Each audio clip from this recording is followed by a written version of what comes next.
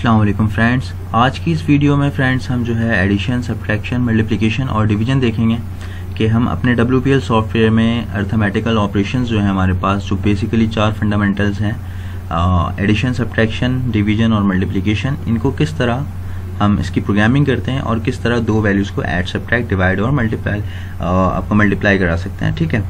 तो यहाँ पर जो है इस वीडियो के स्टार्टिंग में ही मैं आपको कुछ चीज़ें बता रहा हूँ।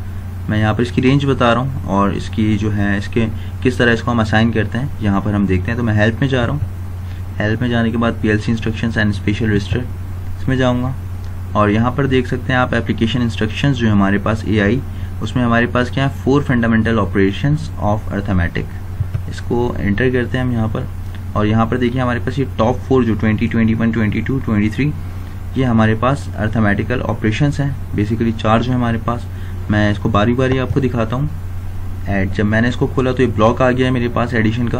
तो इसमें क्या है? एपीआई यानी एप्लीकेशन इंस्ट्रक्शन नंबर है इसका, जो कि 20 है। इसका सबसे मतलब जो इसको कॉल कराने के लिए जो इसका ब्लॉक है, वो हमारे पास ऐड है ए डबल डी ऐड जो एडिशन कर रहा है, इस तरह से ऐड फ़र्स्ट ब्लॉक में, फिर S one S two S one वो वैल्यू है जो एस टू के साथ ऐड होगी। एंड देन लास्ट वाला जो हमारा D A it means it's the data register इस डाटा रजिस्टर में हमारे पास एडिशनल जो रिज़ल्ट आएगा, हमारा जो एडिशन होगा एस वन और S two for example S one five and then S two is ten तो फिफ्टीन जो के रिज़ल्ट आएगा वो डी हमारे इस डाटा रजिस्टर में स्टोर हो जाएगा। ठीक है? मैं बैक पे जाता हूँ। इसी तरह सब्ट्रैक्शन में क्या है? Subtract S one S two और D D again here the data register ठीक है?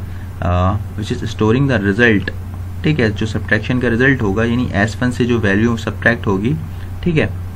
एस टू सब्ट्रैक्ट होगा एस वन से और वो स्टोर होगा अगेन हमारा डी में।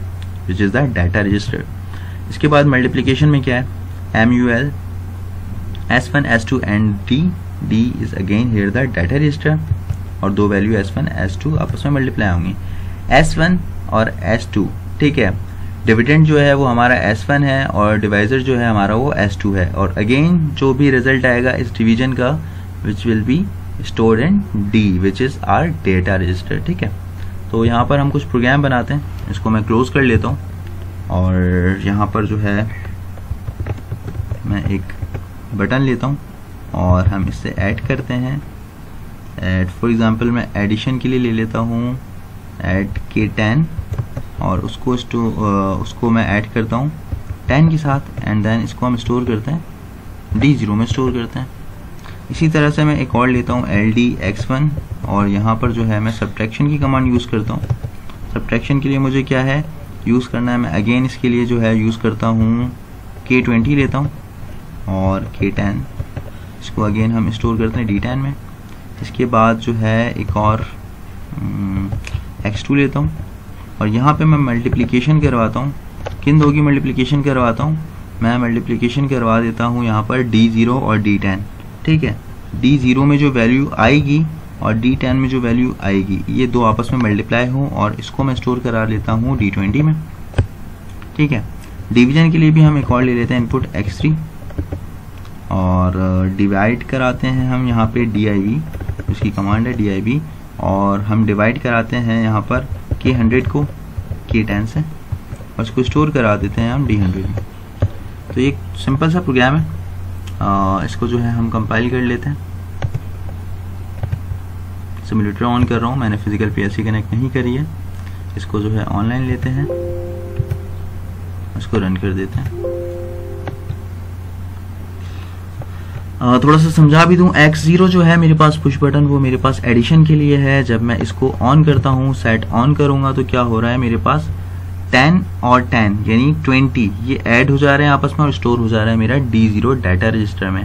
के कांस्टेंट है, यानी टेन ओबियसली जो है एक कांस्टेंट नंबर है तो इसको रिप्रेजेंट करने के लिए हमें इसके साथ के लगाना पड़ता है which is indicating that this is the constant number and then again ये S1 था और ये S2 है, जो मैंने आपको हेल्प में जाकर दिखाया था एडिशन की कमांड थी and this is our S1 this is S2 and this is our data register इसके बाद हमारे पास X1 को भी मैं ऑन करता हूँ।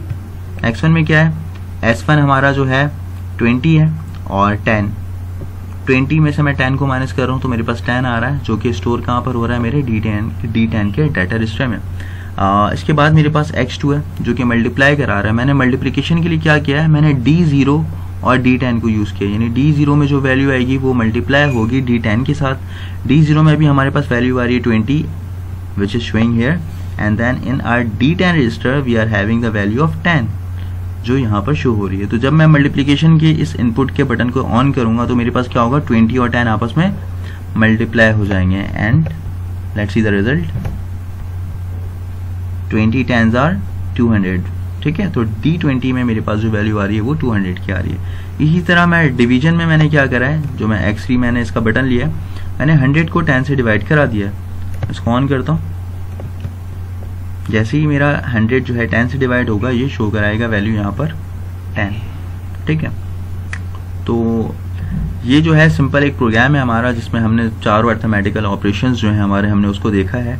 और आगे की वीडियो में मैं फ्लोटिंग पॉइंट को डिस्कस करूँगा कि फ्लोटिंग पॉइंट में अगर हमें एडिशन और सब्ट्रैक्शन यूज़ करना है, या अगर हमारे पास कोई ऐसी एप्लीकेशन है जिसमें जैसे हम फॉरन हाइट देखना चाहते हैं, या किसी चीज़ का टेम्परेचर के अलावा हम किसी चीज़ की फोर्स किसी चीज़ की फ़िज़िकल कोई भी मेज़रमेंट हो, जो फ्लोटिंग में आए पॉइंट्स में आए डेसिमल के अलावा भी, ठीक है? तो उसको हम किस तरह यहाँ पर जो है शो करा सकते हैं?